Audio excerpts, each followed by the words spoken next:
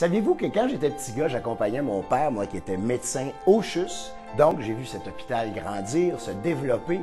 J'ai même été soigné ici, de même que mes proches. Donc, j'étais à même de constater la qualité des soins qui y sont prodigués. Mhm.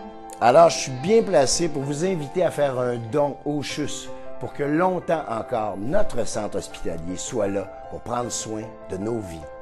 Visitez le fondationchus.org et faites un geste pour la vie.